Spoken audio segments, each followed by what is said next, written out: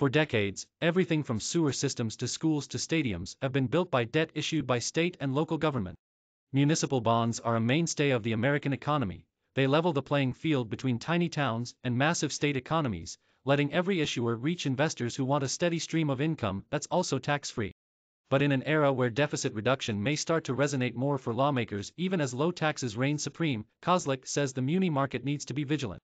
Kozlik believes the threat to the tax exemption started in earnest with the Simpson-Bowles Commission, which was created in 2010 to address the nation's fiscal sustainability.